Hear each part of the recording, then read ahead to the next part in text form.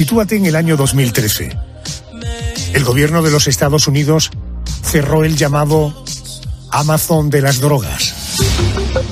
A ver, esto de Amazon de las drogas es, eh, se trata de una escandalosa página de la dark web en la que eh, se podían adquirir drogas y fármacos desde cualquier parte del planeta. Esto de la dark web es la web oscura, ahora te contaré. Eh, su creador, el creador de esta página donde se vendían fármacos y drogas, es el veinteañero Ross Ulbricht. Él, como todos los que participaron en esta plataforma, acabaron en la cárcel. Todos menos uno, un médico español llamado Doctor X, Vamos a averiguar qué es esto de la Dark Web y quién es este personaje. Quiero saludar a Eduardo Casas, es autor de un libro, La Red Oscura, lo publica La Esfera de los Libros. Él es subinspector de la Policía Nacional. Además, Eduardo pertenece al grupo de expertos en identificación de víctimas de Interpol. Eh, se encarga este grupo de la localización de niños explotados sexualmente en Internet y de sus agresores. Subinspector, muy buenas noches, Eduardo, bienvenido a COPE. Hola, buenas noches. Muchas gracias por invitarme. Oiga, ¿qué es la red oscura y cómo funciona?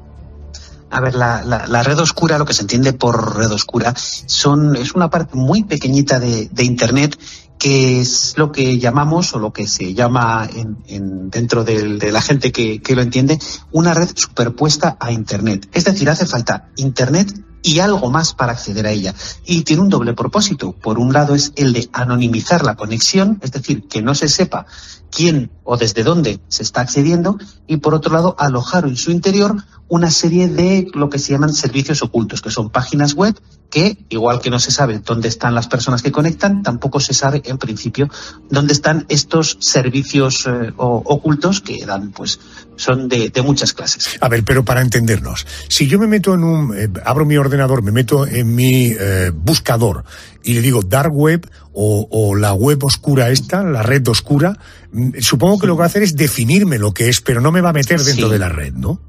No, así tal, tal cual no, pero tampoco es mucho más difícil porque en cuanto empecemos a leer sobre red oscura vamos a saber cuáles son las redes más importantes, que son básicamente eh, Freenet, I2P y Tor, que Tor suele ser la, la estrella, y enseguida vamos a, saber qué tenemos que descargarnos para, para conectar a ella. No es algo especialmente difícil. Correcto. Eh, ya eh, hemos descargado lo que sea necesario para entrar en la dark web. No le, no le quiero poner a la conversación intriga, me parece un tema muy serio. No sabría cómo hacerlo, no lo he hecho nunca. Eh, por tanto, como tú eres subinspector de la Policía Nacional, los límites de la conversación, si eres tan amable, ponlos tú. Eh, ¿Qué se puede encontrar en la dark? Porque no quiero promocionar que nadie tenga curiosidad por meterse. Pero ¿qué se puede encontrar en la dark web? A ver, eh, lo que es la dark web en sí no es ilegal. basta con, con, acceder, eh, descargarse estos sistemas de anonimización y podremos ver lo que hay. Lo primero que nos vamos a encontrar es que es muy lenta. Es muy lenta porque precisamente estas medidas de seguridad que tiene para dificultar que se sepa dónde está cada, eh, cada usuario y dónde está cada servicio hace que sean bastante más lenta y con muchas limitaciones de, tráfico. Por ejemplo, vídeos no se pueden mover por ahí porque ocuparían mucho ancho de banda. ¿Qué es lo que, se, eh, lo que hay en ella? Pues eh, desde páginas perfectamente legales como de sexo fetichista, por ejemplo, o copias de Wikileaks, por ejemplo, están eso, esos eh, contenidos legales a contenidos muy ilegales como sitios en los que se vende droga, sitios en los que se trafica con pornografía infantil, sitios en los que se venden armas, sitios en los que se enseña cómo atacar a un comercio para que no pueda vender online. Es decir, todo está desde lo más legal a lo más ilegal. Bien, correcto. Por tanto, estamos hablando de que la dark web es eh, eh, un soporte, un negocio, un absolutamente legal. Lo que pasa es que dentro de esa dark web podemos encontrar cosas que son legales y otras que son rigurosamente ilegales. La, dificultad que tiene la policía para identificar eh, a los individuos que cometen ilegalidades dentro de la dark web viene, supongo, precedido por el hecho de a el anonimato de los servidores y ve el anonimato de las IPs, es decir, de las personas que entran en la dark web, ¿no? Efectivamente, eso es lo que lo hace no imposible, porque, a ver, no hay nada imposible y todo lo que se hace en Internet, todo deja un rastro. Eh, pero a veces ese rastro es más fácil de seguir, a veces es más difícil. Efectivamente, esos dos puntos principales son los que hacen que sea mm, difícil o que sea más difícil que el que eh, teclea www.google.es, que es más fácil de, saber dónde está y, lo que está haciendo. Claro que esa persona no está haciendo nada, nada ilegal. Pero sí, es más difícil detectar aquellos que están haciendo algo ilegal eh, dentro de, de, estas redes oscuras que el que lo hace en la red abierta. Efectivamente, esos dos estos dos puntos principales son los que la hacen más difícil. Correcto. Eh, cuando dices más difícil, debo entender que no es imposible. Es decir, la policía tiene no. la capacidad de poder identificar servidores y, y usuarios, ¿no? A ver, eh, me gustaría decir esto para quedar muy bien que sí sobre la marcha, pero no, o sea, no es sencillo, no siempre se consigue, pero se está intentando. Y como digo, todo lo que se hace en Internet deja un rastro y solo hacen falta para encontrarlo dos cosas, que es recursos y tiempo. Teniendo recursos y tiempo se acaba encontrando y de hecho regularmente se desmontan servidores que están en, en, la dark web, en especial de pornografía infantil, pero también de venta de productos ilegales, por ejemplo, se desmontan bien a través de, de medios técnicos, es decir, hay algún error en la programación que permite saber cuál es la IP buena, o bien mediante medios humanos, es decir, alguien ha cometido un error que ha, ha enseñado quién es o dónde se encuentra. Siempre la policía va a estar presente y va a estar buscando el error. Y en el momento en que hay un error en el sitio, en el punto delictivo, pues se va a actuar y se han encontrado esos servidores tanto en España, que se ha intervenido en alguna ocasión, como en diferentes países de Europa y de Estados Unidos. Soy un usuario absolutamente convencional. De pronto oigo esta conversación por la radio y siento curiosidad por saber qué es lo que hay en la red oscura. Uh -huh. Me meto en la dark web, consigo entrar bajándome lo que sea, en fin, con el procedimiento uh -huh. que sea. ¿Esto tiene algún peligro para el usuario de a pie? Es decir, es meterte ahí es, ojo, danger, danger, danger. A ver, en principio no, ¿vale? Hay que quitar también un poco el miedo. En principio no es algo peligroso per se. ¿Tiene algunos peligros? Sí, también los tiene salir a la calle, pero, pero eh, quizás salir a la calle lo hacemos de toda la vida y tenemos más conocidos los riesgos. ¿Qué riesgo tenemos? Pues el primer riesgo es que la curiosidad sea más que curiosidad y que lo que nos interese sea, por ejemplo, la explotación sexual de menores. Porque la mera visualización intencionada de imágenes de explotación sexual de menores, de pornografía infantil, ya es un delito. O sea, si estamos buscando eso, solo por buscarlo, ya es un delito. Otro riesgo que tenemos, pues que nos engañe alguien, nos estamos metiendo, creemos que somos hackers o estamos siendo aprendices de hackers y nos metemos en páginas de hackers y pueden que nos acaben engañando a nosotros. Eh, otro riesgo, pues bueno, que compremos, pero ahí no es visitar, es comprar. Decidimos entrar a un mercado ilegal, un mercado negro, y comprar producto. Puede que llegue el producto, puede que no llegue, o puede que llegue la policía a preguntar por qué has comprado ese producto.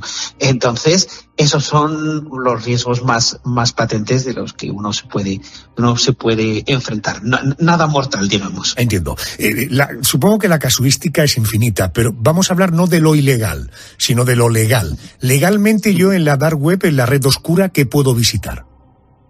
Pues, ¿Es todo, gira digo, todo en torno al sexo? Eh, no, no para nada. Eh, de hecho, la estrella, la estrella de la dark web son los mercados, los mercados ilegales. Y el hecho de visitar un mercado ilegal en sí no es ilegal. Es decir, yo puedo navegar por una página en la que están vendiendo droga, que es lo que más se vende, y no y, mientras no la compré no estoy cometiendo una, una ilegalidad. También vamos a encontrar muchas páginas, digo copias, por ejemplo, de WikiLeaks, copias completas en las que podemos ver pues todos los informes que se emitieron en, en su época. Cada vez más páginas comerciales ilegales, por ejemplo Facebook, tienen una copia de respaldo, bueno, dos respaldos una copia en la dark web para el que prefiera acceder a través de, la dark web. No sé quién querría, porque como digo, es excepcionalmente lenta y tiene muchos servicios que no funcionan, pero está ahí, está ahí. Entonces es un, un mundo muy pequeñito, porque eh, para que te hagas una idea, pues tiene unas de 10.000 páginas web, cuando Google indexadas, indexadas quiere decir simplemente que las tiene archivadas, no que las aloje, porque obviamente no puede alojar. Tiene pues miles de millones de, de, de, páginas web. Luego estamos hablando de cosas muy, muy pequeñitas, de 10.000 páginas de ese, de ese orden. Pero cada vez pues va habiendo más cosas legales, negocios que, que se anuncian y que viven ahí. ¿Es lo mismo la red oscura que la red profunda? Pues depende a quién se le pregunte y cómo se le, se le pregunte, porque en general se hace una distinción, una distinción entre lo que es la red profunda y la red oscura. La red profunda viene a ser todo aquello que no está indexado en Google Y, y de ahí viene el, el famoso error de no, es que el 90% de Internet es red profunda, por tanto red profunda es igual a red oscura y red oscura es igual a delito. Luego, el 90% de Internet es delito. No, eso es una, equivalencia eh, falsa. Ya hemos visto por un lado que no que sea oscuro es siempre delito y por otro lado que no es lo mismo que no esté indexado en Google a que sea una de estas redes especiales para el anonimato. ¿Por qué no están indexadas en Google? Pues por ejemplo, las redes corporativas de las empresas no están en Google. No tiene sentido que el catálogo interno de cómo gestiona una empresa de aluminio el, el, interno está en Internet, ¿no? El interno es solo para sus empleados. O la gestión de personal de una empresa no va a estar en Internet. Pues toda esa cantidad de cosas y sobre todo el tráfico, el tráfico de streaming, es decir, las películas que vemos cuando accedemos a, un servicio de streaming como Amazon Prime, Netflix, Disney Plus, etcétera, todos esos eh, servicios el tráfico en sí no está indexado y es lo que se calcula que es la mayor parte del tráfico de Internet en estos momentos. Por supuesto está indexado, es decir, yo puedo mirar en Google quién es el director de una película, dónde está esa película o de qué va esa película, pero lo que es los fotogramas en sí obviamente no están en Google y eso es la mayor parte del, del tráfico. Esa es la gran diferencia entre lo que es Internet profunda, es decir, la Internet que no sale en Google, y la Internet oscura, es decir, la Internet que está pensada para el anonimato. Entiendo.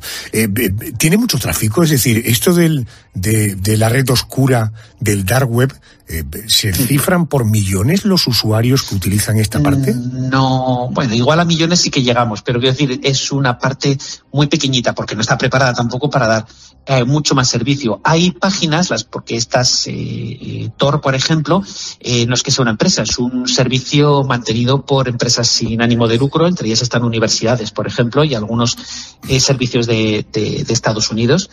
Eh, hay páginas donde miden el tráfico y se puede saber en cada momento cuántas personas, bueno, o, cuánto se mueve eh, lo que está, cuántos bits por segundo se están moviendo y es relativamente poco para su tamaño es lo adecuado, pero recordemos que es un tamaño muy pequeño de 10.000.